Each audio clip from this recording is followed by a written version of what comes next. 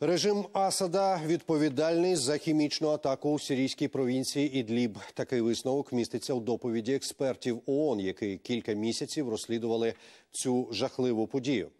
Нагадаю, у квітні цього року від застосування отруйного газу при бомбардуванні міста хан Шейхун загинула понад сотня людей, понад пів тисячі постраждали.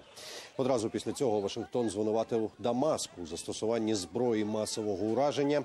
У відповідь армія США випустила 59 крилатих ракет Томагавк по авіабазі Аль-Шайра, з якої здійснювала бойові вильоти авіація Асада. І водночас уряд Сирії заперечив будь-яку причетність до цього нальоту. piloto